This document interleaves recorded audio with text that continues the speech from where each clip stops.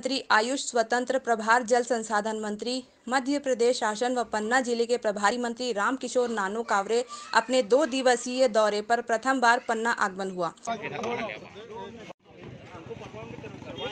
जहाँ भाजपा कार्यकर्ताओं द्वारा उनकी आगवानी पन्ना की सीमा सुंदरा में की गई, जहाँ उनका स्वागत किया गया, तत्पश्चात देवेंद्र नगर में उनका काफिला पहुँचा, जहाँ भाजपा मंडल देवेंद्र नगर में मंडल अध्यक्ष ललित गुप्ता द्वारा स्वागत किया गया।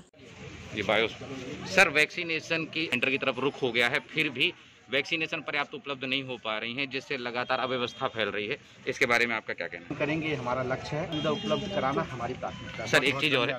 व बस स्टैंड मोड़ पे भाजपा युवा मोर्चा जिला मंत्री निक्की जायसवाल व कोषाध्यक्ष अजीत जैन के नेतृत्व में स्वागत किया जहाँ उन्होंने मंत्री जी का स्वागत पगड़ी पहनाकर व केक काटकर किया।